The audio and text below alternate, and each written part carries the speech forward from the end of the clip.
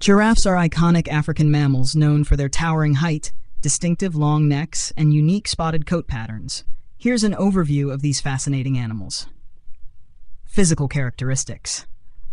Giraffes are the tallest land animals on Earth, with adult males, known as bulls, reaching heights of up to 18 feet, 5.5 meters, and females, known as cows, typically standing between 14 to 16 feet, 4.3 to 4.9 meters tall.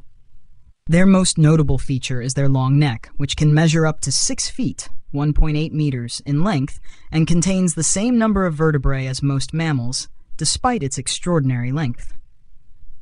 Giraffes have a distinctive coat pattern consisting of irregular patches or spots that vary in color from light tan to dark brown, surrounded by white lines. Each individual has a unique pattern similar to a human fingerprint. They have large, expressive eyes with long, thick eyelashes and a prehensile tongue that can extend up to 18 inches 45 centimeters in length, enabling them to grasp leaves and twigs from high branches. Habitat Giraffes are native to the savannas, grasslands, and open woodlands of sub-Saharan Africa, where they inhabit a range of habitats characterized by the presence of acacia trees and other tall vegetation. They are well adapted to arid and semi-arid environments and can go for long periods without drinking water, obtaining much of their moisture from the leaves they consume. Behavior Giraffes are generally peaceful and social animals that form loose, transient groups known as towers or herds. These groups typically consist of females and their offspring, with males often associating with females during the mating season. Despite their large size, giraffes are capable of running at speeds of up to 35 miles per hour, 56 kilometers per hour, over short distances, and use their powerful legs and long strides to escape predators such as lions and hyenas. They are predominantly diurnal animals, meaning they are active during the day and spend much of their time feeding, socializing, and resting in the shade of trees. Diet Giraffes are herbivores with a specialized diet primarily consisting of leaves, buds, and shoots from a variety of trees and shrubs, particularly acacia species.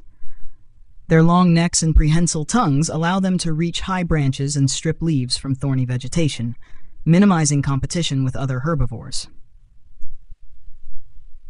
Reproduction.